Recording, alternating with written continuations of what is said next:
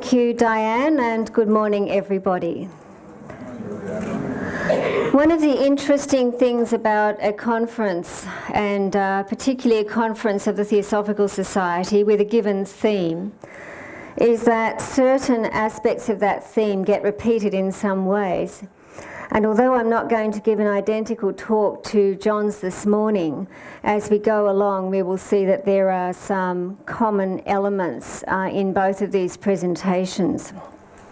So, when we think about the theme of this conference, it provides a very real opportunity for some soul searching about what the TS is about.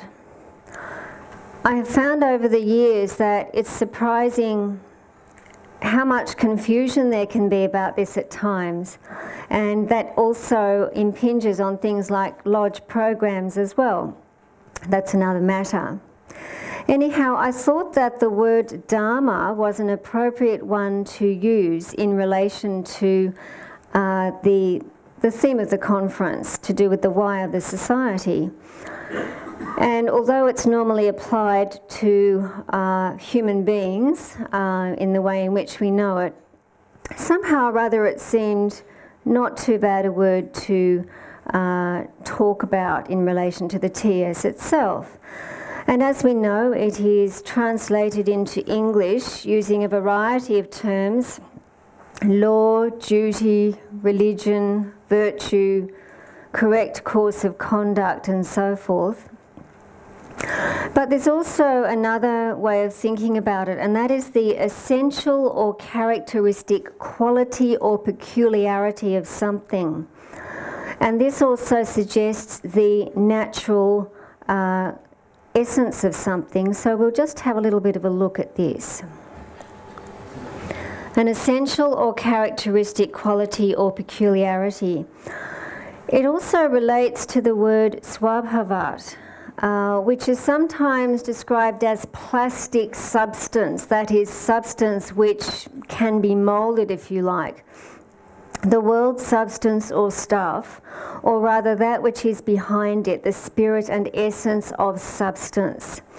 So, the sense in which I'm going to use Dharma this morning is the essential uh, quality of the TS. Uh, and something which contains within it an inherent plasticity or flexibility.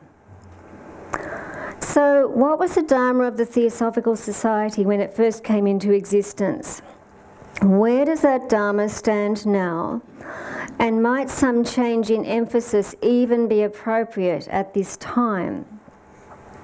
Let us rewind in order to refresh our memories about uh, what some of the great ones said about the society when it first came into existence. So we're going to start with no less than the Mahachohan in his letter. He said, between degrading superstition and still more brutal materialism, the white dove of truth has hardly room where to rest her weary, welcome, unwelcome foot.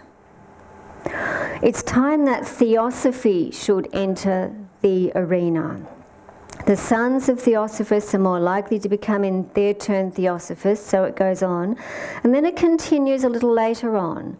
The Theosophical Society was chosen as the cornerstone of the future religions of humanity. They're pretty extraordinary words. And to achieve the proposed object, he said, a greater, wiser, and especially a more benevolent intermingling of the high and the low, the alpha and the omega of society was determined upon. Now, that in its own right is quite a charter, isn't it? And I believe that this quotation sets out the chief characteristics of the Society's Dharma uh, when it was formed, or just after it was formed. This was in 1881. A number of words from this quotation seem to encapsulate uh, this Dharma of the Society, so we're going to look at them a little bit more now. So, first of all, a vessel through which theosophy was to be made known to the world to help counteract degrading superstition and brutal materialism. Very strong words, aren't they? Degrading superstition and brutal materialism through the search for truth. Secondly, an environment in which the principle and practice of brotherhood is paramount. And thirdly, the cornerstone or foundation of the future religions of humanity. There's a tremendous amount encapsulated in that. And each of these three aspects is very rich with meaning. We're going to go through each of them and what they might mean, and then we're going to review each of them uh, by considering what the world is like today and whether what, what kind of applicability there is now and whether there might even be a change in emphasis of the society's Dharma. So let's begin with the counteraction of materialism and superstition by theosophy.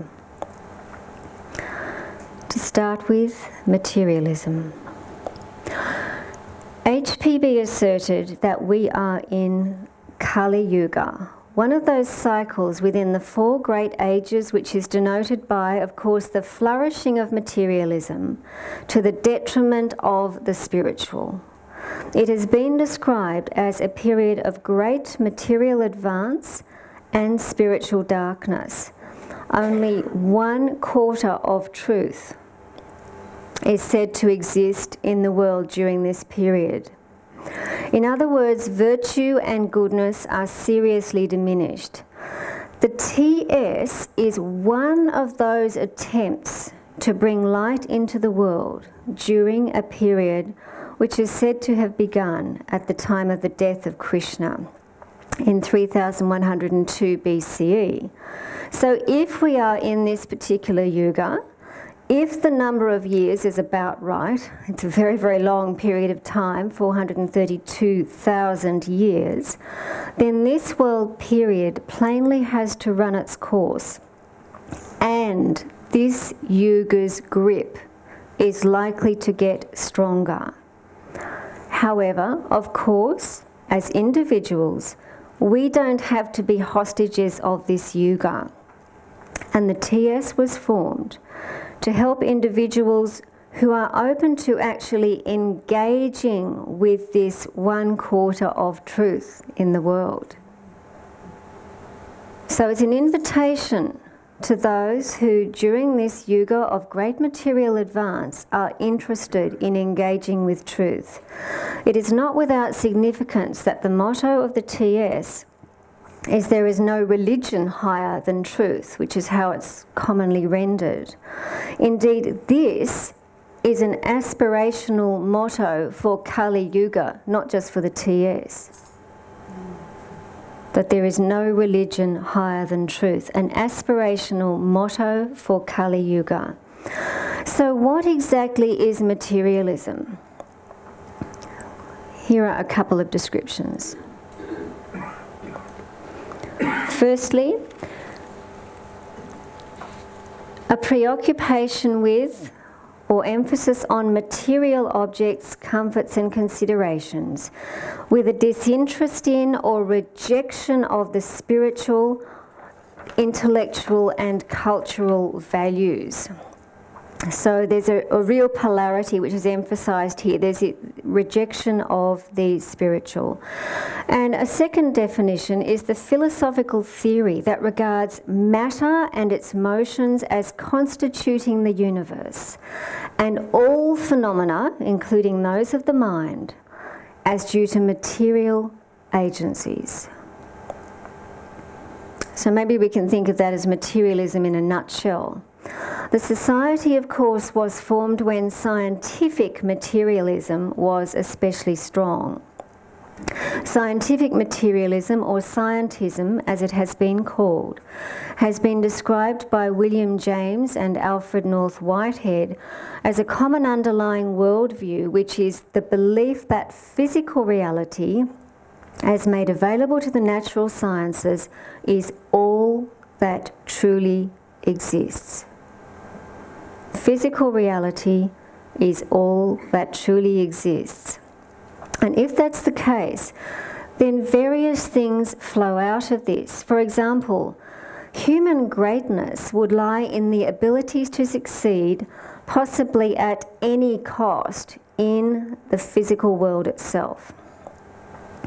Meaning would very naturally be invested in material objects and considerations. Consequently, these kinds of things would be protected very strongly, and the most excellent of these would be even invested with a certain kind of perfection. The mind would therefore naturally operate at a certain frequency, which allows materialistic aims to be fulfilled. So we're talking here about virtually a purely materialistic mindset. Meaning is invested in material things. The features of a materialistic world are brought before our gaze daily. On the one hand, we have some of the most brilliant technology, which I'm happy to use right now. Uh, technology of all kinds, um, much comfort in many places, higher living standards for many, and the development of the mental muscle to actually accommodate all of these things. On the other hand, of course, we witness a great amount of competition, corruption, extreme selfishness, narcissism these days, and so forth. Many must regard a deeper spiritual reality which cannot be proven in physical terms as fantasy or illusion. Because it's something that we can't prove physically, isn't it? It's something that requires a different kind of sense to really apprehend. And this doesn't paint a very inspiring picture. But very fortunately, not all human beings are driven solely by this philosophy of materialism, although enough embrace it that materialism very strongly permeates the global mindset today, even more so than when the TS was conceived. It's been observed that there's very little room for religion in scientific materialism because religion involves faith in unseen and presumably empirically untestable entities. One could add that there is therefore little room for theosophy uh, in this either, because the theosophical tradition posits the existence of invisible worlds, with consciousness, of course, being primary rather than a byproduct of physical substance. So much for materialism. Let's turn now to superstition. The Mahachohan spoke of truth as having very little room in an atmosphere of materialism and superstition or in today's language, truth has very little oxygen. He was probably referencing Kali Yuga here, I would suggest. So, what is superstition? Its meanings include an irrational fear of the unknown or mysterious, there's an irrationality about it. A practice, opinion, or religion based on these tendencies, and a widely held but unjustified idea of the effects or nature of a thing. So, superstition refers to beliefs or notions which are not based on reason or knowledge, which are frequently underscored by fear. So we can say that the hallmarks of superstition are ignorance, irrationality, fear of the unknown, lack of reason, and therefore the lack of use of intelligence. It may be fed by falsely investing a higher power in something which is relatively mundane, such as believing communications from entities in seances um, and of course, a lot of this was going on when the TS was first formed. Superstition may also be fed in other ways. For example, by blind and unintelligent belief on our part about something we have read or else been told. For example, that walking under a ladder will bring us bad luck. Is this based on actual evidence? Doubtful. Anything that's repeated often enough is in danger. What does this mean? Well, the danger is that anything which is repeated enough times will be perceived eventually as some version of the truth. Have you ever found that? It tends to happen. And this is also, I believe, essentially a form of superstition. So too is believing anything that we read just blindly without considering whether it's actually true. Therefore, in this sense, a kind of superstition could even creep into studying theosophy, which is something to think about. Do we automatically believe something that we read because it was by such and such a person? Or do we investigate for ourselves whether it is in fact true? So let us now turn to the second characteristic, if you like, of the Dharma of the Theosophical Society, an environment in which the principle and practice of brotherhood is paramount. As John was mentioning before uh, the break, the objects of the TS have basically remained as they as they are today since 1896. The first object immediately suggests that universal brotherhood simply did not exist in the world in 1875. That stands to reason. And the TS basically was a pioneering experiment. So, from one point of view, we're all part of this ongoing experiment. That's how it is an experiment in brotherhood. The second object encourages the study of three large fields of serious human endeavour.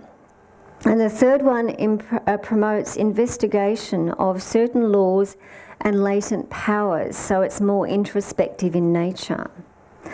The three objects together may actually be thought of as synthesizing, they have a synthesizing quality because they all point to the possibility of some sort of fundamental harmony. This is self evident in the first object. Fundamental to religion, philosophy, and science, which are all mentioned in the second object, is an orientation towards truth. And if we consider the third object, our latent powers run deep within our divine nature which is deeply harmonious. The psychic powers, for example, are mere shadows in comparison. Added to all this, the most fundamental principle of the wisdom tradition is that of radical unity. The secret doctrine, as we know, describes an omnipresent, eternal, boundless, and immutable principle. And this lies at the basis of everything that we know, everything that we do, and everything that we perceive. And this despite the fact that our doing, our knowing, and our perceiving frequently make us simply oblivious to this fact. So, if we take into account the first object based on the principle of the unity of life, then the principle and the practice of brotherhood are supremely important, or sisterhood if you like, or both. However, as Brother Sri Ram mentioned, it is not enough merely to realize our underlying brotherhood, but there has to be skill and wisdom in dealing with the outer differences. And this practice is at times supremely difficult. He also made another couple of interesting quotations. He said, When there is a spirit of brotherhood, the sensing of the unity behind the exterior facade or mask It will give rise to free and natural cooperation in all spheres political, economic, intellectual, cultural, and all others. Now, this is absolutely striking. The power of brotherhood. It can be radically transformative. And he also said, given a genuine sense and realization of the underlying truth of brotherhood, the world will witness a miraculous change. A miraculous change. So, the realization of brotherhood can actually cause miracles to happen, which is quite a phenomenal thing when you think about it. So, to the third main characteristic of the Dharma of the TS now, and that is the cornerstone or foundation of the future religions of humanity. Well, this is a very sobering thought, actually, and it should cause us to think and reflect. Firstly, it implies that religions will all continue to exist in some form. Secondly, that the TS will in fact be the basis of these religions. So, this one organisation was formed to be the basis of future religions. That's not a small thing, is it? Very sobering. It's an enormous collective responsibility. And in this context, we also really need to think for a moment about what religion is. It's derived from a term meaning to bind fast and also bond between humans and gods. So it has very much to do with binding, with knitting together. Uh, rather than fragmentation. Many people today appear not to have any particular clear bond with the gods, maybe that's a value judgment on my part, um, appear not to have a real bond with the sacred, or otherwise what appears to be a remarkably loose bond. In a similar vein, HPB asserted that a religion in the true and only correct sense, and I've underlined some of these words, is a bond uniting men together, not a particular set of dogmas and beliefs. So, when any religion de- degenerates into dogma, it is not religion in the true sense if the TS descends into dogma, it's not really um, being the essence of religion in the true sense either. So, what might future religions of humanity have in common? Well, we'll consider this further a little bit later on. So, now we're going to consider the world today in relation to the Dharma of the TS and see where that leads us.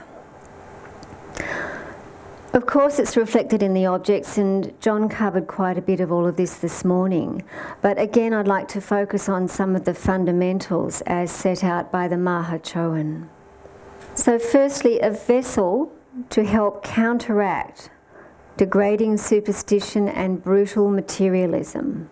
A vessel, a container something which actually provides a focus for that energy to counteract superstition and materialism.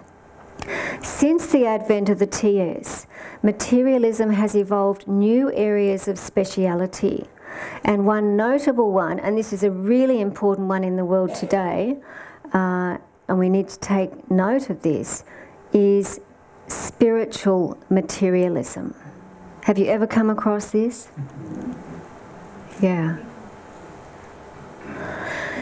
It is flourishing. It is absolutely flourishing today. The Tibetan Buddhist Chogyam Trungpa wrote a book called Cutting Through Spiritual Materialism. And he used the term to describe mistakes spiritual seekers commit, which turn the pursuit of spirituality, we'll just go back one there, into an ego building and confusion creating endeavour based on the idea that ego development is counter to spiritual progress. We'll focus on those first words though.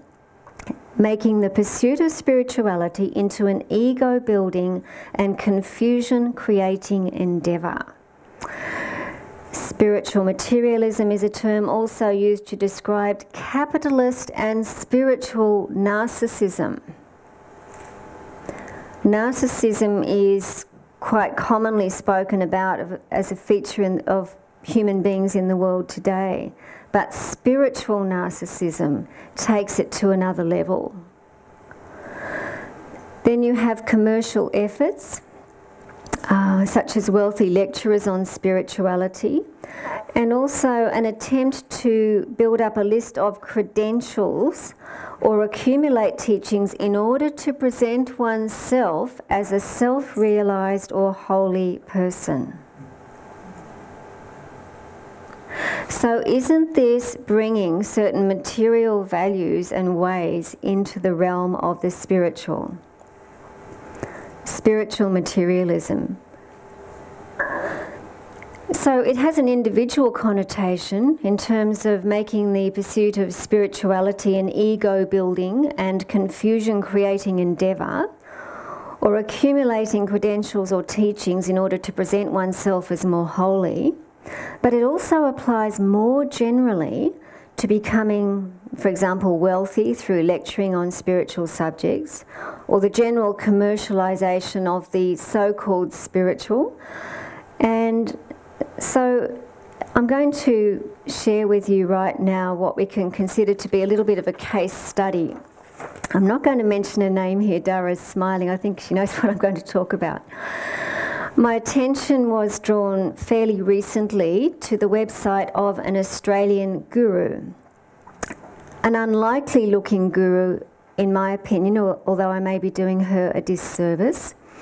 Her website is replete with information uh, such as her spiritual credentials, and there are plenty of those, a list of her senior disciples, a variety of merchandise, which is fairly typical CDs, DVDs, music, etc. A free guided meditation if you sign up to the mailing list, and so forth. This guru is described as a householder, mother and wife, fine. But then, spiritual entrepreneur. spiritual entrepreneur author, musician, and teacher. She's an inspiration to many people, says the website. Now, this self styled guru experienced an epiphany while entering a class to teach, in which she realised her name and vocation to be a guru, something she had not previously considered.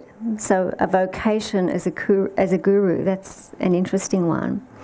So, as a result of this, a mini corporation seems to have been born. This individual has 11 senior disciples, most of whom are now gurus in their own right with their own disciples, experiencing, quote, a blazing intensity and spiritual empowerment of the love that exists in the Chela relationship. And she's also developed an initiation system. While the system of guru and disciple is ancient, her corporation has modernised it in several different ways, and there are peer reviews as well. So it's, it's really quite fantastic how some modern corporate practices have been brought into this. She has appointed certain lineage holders with exotic names, all of whom are described as devoted, humble, and spiritually refined, who have accurate perception and skillful expression of inner plane realities. So, in short, this spiritual business of this spiritual entrepreneur is presented in a way which would appeal to many and also has a very, very glossy package. This, friends, is spiritual materialism. There are many other examples of it. I'm sure that a number of you could provide them as well. So, I would suggest that in addition to counteracting scientific materialism, the Dharma of the TS today, must be to include the counteraction of spiritual materialism, not just scientific. And superstition is still alive and well. Okay, so let's now go to an environment in which the principle and practice of brotherhood is paramount. The fact that the first object is a work in progress, I'm sure, is self evident. It may be the most difficult thing to see the divine in another. Until our mental vision is completely clear and until our inner hearts are fully open, this will not be realized. In the meantime, we might need to be content with glimpses of divinity in the other at times. There's a constant challenge to form this nucleus of brotherhood or brotherhood and sisterhood in different parts of the world, in all arenas of the society. And this aspect of the TS's Dharma requires constant awareness by all of us. It's a big challenge quite extraordinary. So it's a work in progress. There are challenges for the TS all around the world as well. And it needs constant awareness. Okay, let's move now to the TS as the cornerstone of the or foundation of the future religions of humanity. This is a really, really big one. So we can say that religion, truth, and the TS all actually have an intersecting relationship. When you consider this motto, which was also mentioned by John this morning, there is no religion higher than truth. So the three of these intersect religion, truth, and the TS. The TS was clearly formed to be an agent for change, an agent for human evolution, in fact. It should appeal to those souls who do want to inquire deeply into truth during this age in which the iron grip of materialism is increasingly present with relatively little light. The bull, which symbolises the four great yugas in Indian philosophy, stands on a different number of legs in each yuga, and these legs each denote truth, which we can also regard as goodness, as beauty, or even as divine wisdom.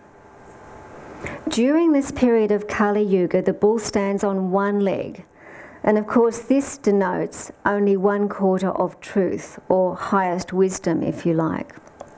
Virtue has receded significantly during this age, which has still well over 400,000 years to run, uh, if those figures are correct. So, without a deeper perspective on life, it would be easy to be glamorized into thinking that this physical world is indeed an end in itself. Now, I'd like to switch to a statement by Krishnaji on religion which may have some bearing on the future religions of humanity. He said, We mean by religion the gathering together of all energy to investigate into something, to investigate if there is anything sacred. That is the meaning we are giving to it.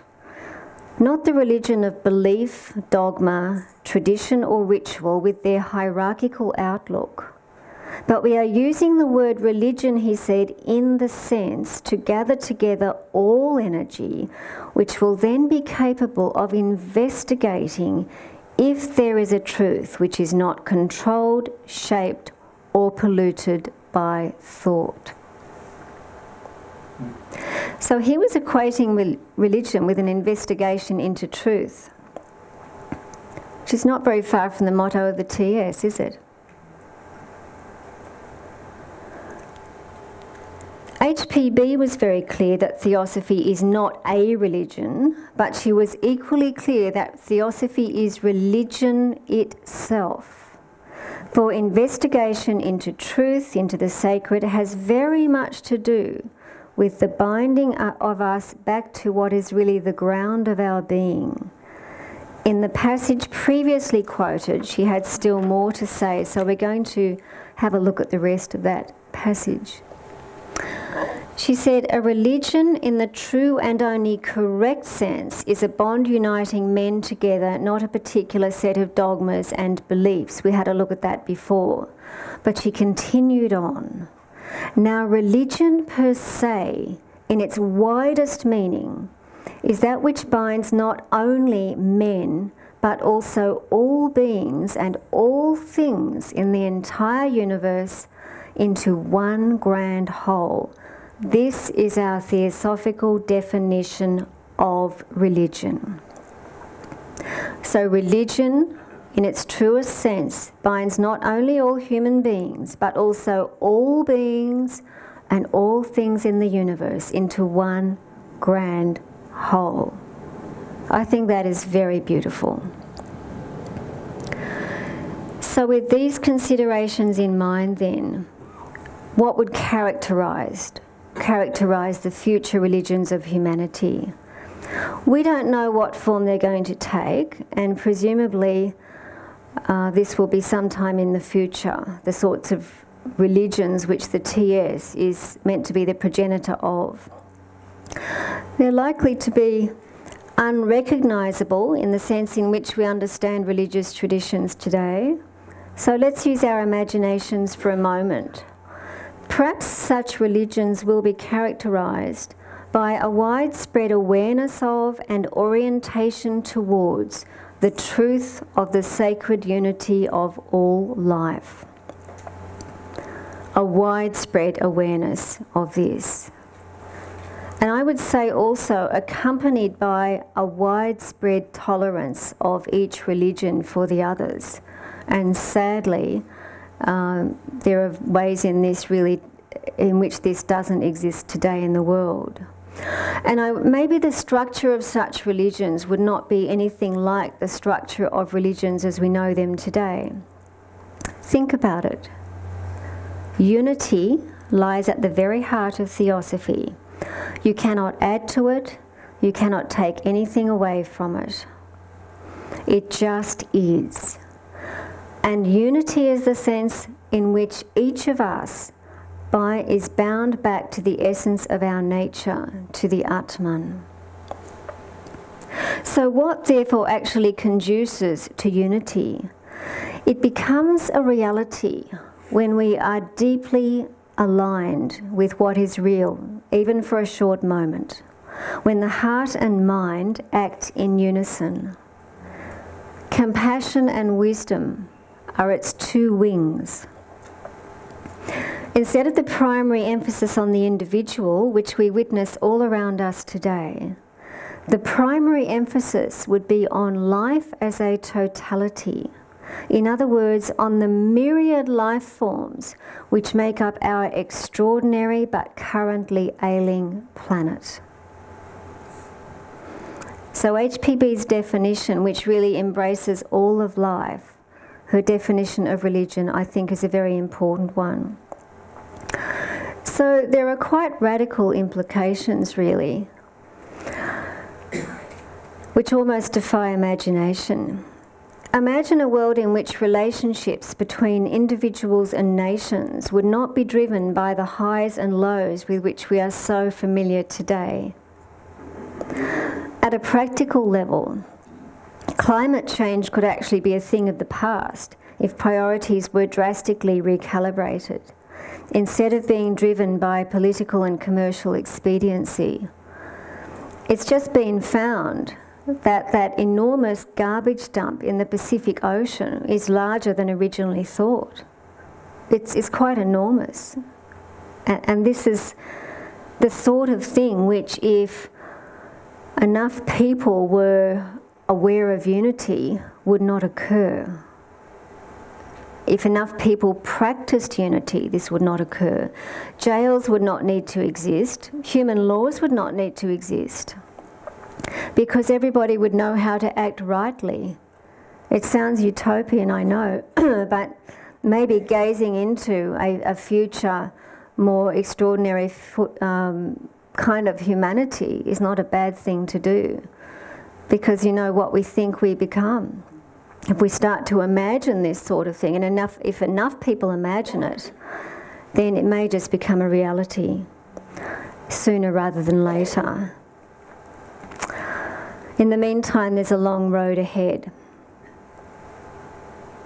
So the TS was formed for a purpose, and according to the Mahachohan, it's a longer term purpose.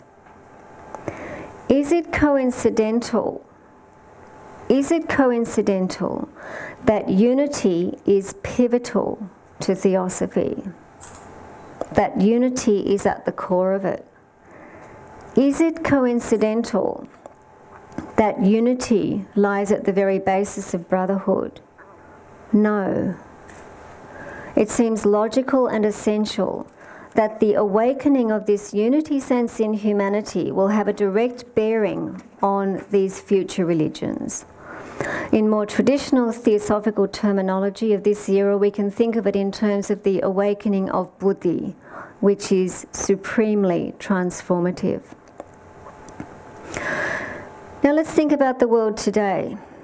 The conditions in the world today are far more pronounced than they were in the late 19th century. Human nature has not changed overnight. The population of the world has increased enormously, uh. It's about 7.5 billion now.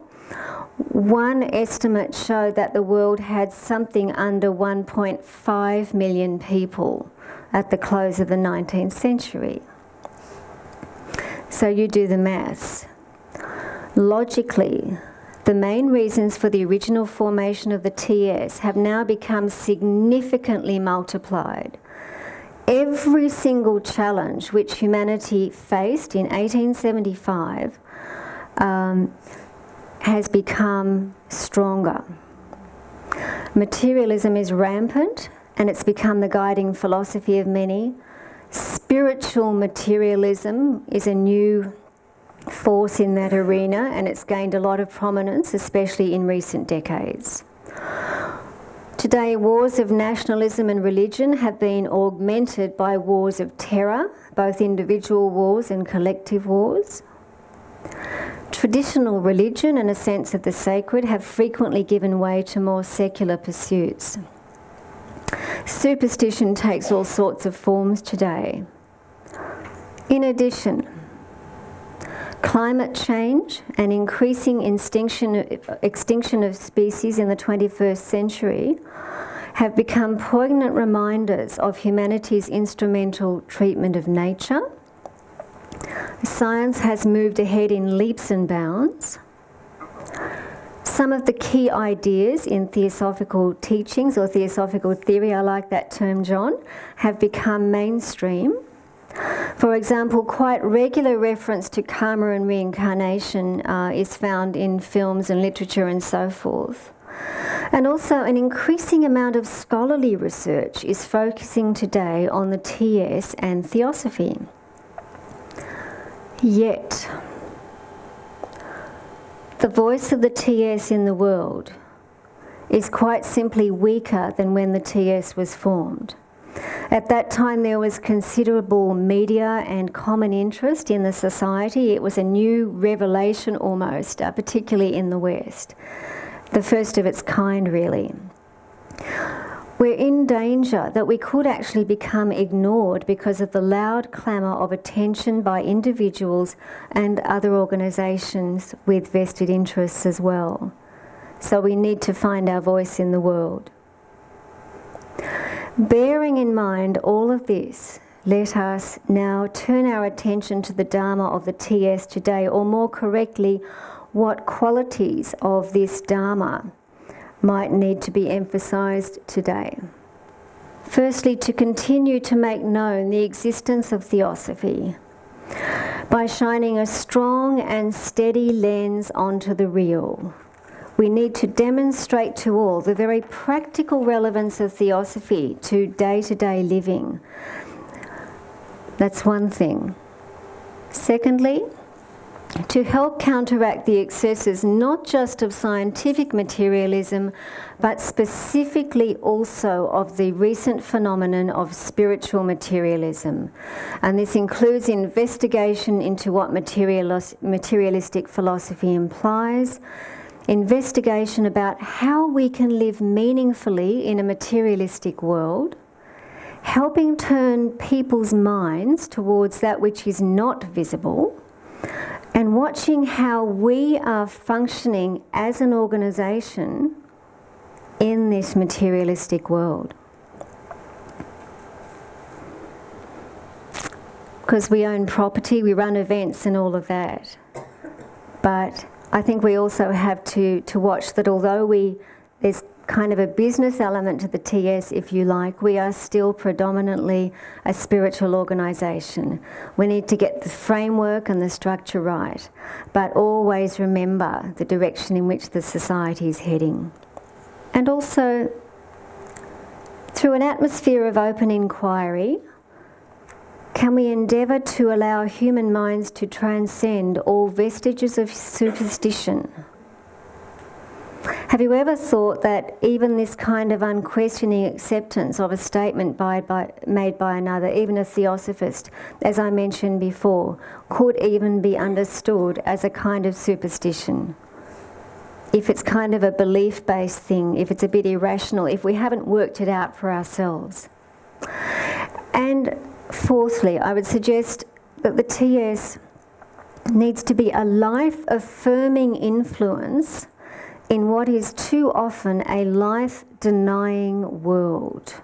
By this is meant that the TS needs to be an influence which points to and demonstrates the sacred unity of all life without any distinctions. We need to show this by example, not just as theory. To be a life affirming influence. Essentially, the Dharma of any given entity does not change. However, expressions of its Dharma may do so depending on circumstances. The TS needs to continue to grow more fully into its Dharma. I'd like to finish with a quotation from our international president, which reflects that deep aspiration for the sacred, which can only be accessed beyond material realms. What we theosophists call truth is eternal, without limitation, perfect, everywhere present, and attainable by each of us. The drawback for us as human beings is our tendency to try to force the world to reward us with something it cannot give. The real need that lies behind our striving is for peace for wisdom, for a security that has its roots in the eternal. Thank you.